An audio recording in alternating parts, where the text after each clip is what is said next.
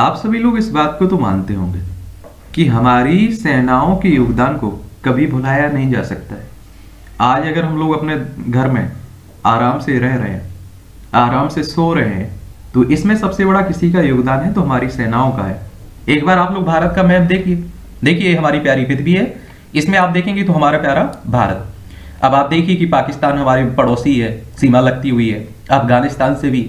फिर आप देखिए, चाइना से भी, नेपाल से भी, बांग्लादेश, भूटान, म्यांमार और श्रीलंका नीचे। ये आपको श्रीलंका। आप देखिए, अगर सेनाएँ हमारी रक्षा ना करें, आप देखते हैं कि रात में हम लोग सोते हैं, वो लोग जागते रहते हैं, वो अपना कर्तव्य निभाते रहते हैं। तो उन्हीं के सम्मान के लिए एक तरह से आप कहिए कि हर साल पंद्रह जनवरी को आपका सेना दिवस के रूप में मनाया जाता है। और मुझे लगता है कि अगर देश में किसी को सेना पर भरोसा नहीं है तो उसके बारे में आप सभी लोग जो सोचना है सोचिएगा। उससे मुझे लगता है कि देश में रहना ही नहीं चाहिए। और देश में जब सेना पर ही भरोसा नहीं कर सकते, और वैसे सेनाओं पर कभी भी सवाल उठाए भी नहीं जा सकते हैं। नेताओं की, कह सकते हैं आप लोग, नेताओं के बारे में उठाइए, कोई दिक्कत नहीं है। तो आप देखेंगे हर साल 15 जनवरी को आपका जवानों और भारतीय सेना की याद में सेना दिवस, आर्मी डे मनाया जाता है। और आप देखिए कि बहुत सारे लोगों का, इसमें जाने का मन भी रहता है मेहनत भी करते हैं। और आप देखिए कि कई कई नालायक होते हैं, जो आप देखते हैं कि इन पर बयानबाजी करते रहते हैं। कई लोग कहते रहते हैं कि वो इन्होंने इनके बारे में टिप्पणियाँ करते रहते हैं, फिल्मी एक्टर हों, या आप लोग सुनते रहते पॉलिटिशियन। तो ऐसे नेताओं को मुझे लगता है कि नकार देना चाहिए। जो हमारी आर्मी के जवानों की अगर सम्मान नहीं कर सकते, उनके बारे में अच्छे दो शब्द नहीं बोल सकते हैं। और इस वर्ष भारत का चौहत्तरवा सेवेंटी फोर सेना दिवस मनाया जा रहा है।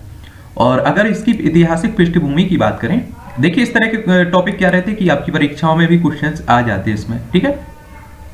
पंद्रह जनवरी उन्नीस सौ उनचास को, आप सभी जानते होंगे कि पंद्रह अगस्त उन्नीस को हमें आज़ादी मिली थी।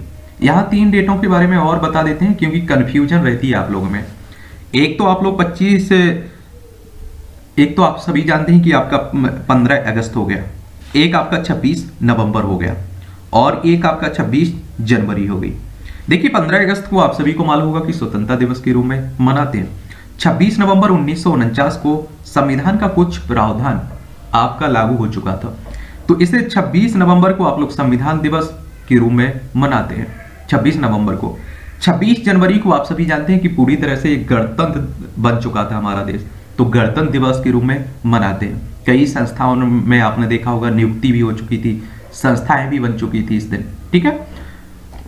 15 जनवरी उन्नीस को फ़ील्ड मार्शल कोड ये है आपका, कोडान डेरा एम करियप्पा जो उस समय लेफ्टिनेंट जनरल थे, ने general sir France Francis Bucher जो उस पद को धारण करने वाले अंतिम ब्रिटिश व्यक्ति से भारतीय सेना के पहले भारतीय कमांडर इन चीफ के रूप में पदभार लिया हुआ था। यानी कि ब्रिटिश से हमारे अपने देश में ये पदभार आया हुआ था।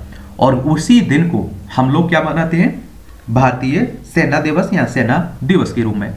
के एम करियप्पा ने जय हिंद का नारा अपनाया जिसका अर्थ होता है भारत की जीत। वह फ़ील्ड मार्शल की पाँच सितारा रैंक रखने वाले केवल दो भारतीय सेना अधिकारियों में से एक हैं और दूसरे फ़ील्ड मार्शल सैम माने कस, कसौ थे ठीक है? और सेना दिवस के बारे में बात करें, देश के उन सैनिकों को सम्मानित करने के लिए विदेश वर्ष सेना दिवस मनाया जाता है, जिन्होंने निस्वार्थ सेवा और भाईचारे की सबसे बड़ी मिसाल कायम की है और जिनके लिए देश प्रेम सबसे बढ़कर रहा है और है भी। आप लोग सेना में जाइए आप लोग।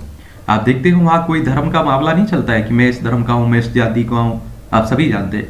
नेताओं ने ये फैला रखा है। मुझे तो लगता है हमारे देश की सुंदरता पूरी दुनिया में सबसे अच्छी है। अगर ये नेता अपनी अब रोज जो भी राजनीतिक रोटियाँ हैं, इन्हें सेकने के लिए नफरत ना फैला दे दो सेना दिवस के उपलक्ष्य में साल दिल्ली छावनी के करियप्पा परेड ग्राउंड में परेड का आयोजन किया जाता है और इसमें आप देखेंगे, भारतीय सेना भारतीय सेना की उत्पत्ति ईस्ट इंडिया कंपनी की सेनाओं से हुई, जो भारत में ब्रिटिश भारतीय सेना और अंततः स्वतंत्रता की भारतीय सेना बन गई। भारतीय सेना की स्थापना लगभग 126 साल पहले अंग्रेज़ों ने 1 अप्रैल अठारह सौ पंचानवे को की थी और उन्होंने अपने उद्देश्य से की हुई थी, ठीक है? और भारतीय सेना को विश्व की चौथी सबसे सशक्त और मज़बूत सेना भी माना जाता है। और आजकल तो देखिए, हमारी सेनाओं का और महत्व बढ़ जाता है, क्योंकि हम लोग तीन फ्रंट से लड़ रहे हैं। पाकिस्तान देख लीजिए, बांग्लादेश देख लीजिए यहाँ। आजकल बांग्लादेश कभी कभी मुद्दे उठाने लगता है, नेपाल भी आपने देखा है बीच बीच में बोलने लगता है। चाइना तो आप जानते ही हैं लद्दाख वाले क्षेत्र पर आप देखते हैं कि झड़प होती रहती है। हमारे कुछ सैनिक शहीद भी हुए थे। यहाँ अरुणाचल प्रदेश को देख लीजिए। यहाँ उत्तराखंड को लेकर भी वो विवाद छेड़ता रहता है। नेपाल भी छेड़ता रहता है। और पाकिस्तान की तो आप सभी जानते हैं कि वो सुधरने वाला ही नहीं है। तो इसलिए हमारी सेनाएँ बहुत ज़रूरी है। और आप देखिए कि निस्वार्थ भाव से देश की सेवा करती हैं। समझ रहे आप?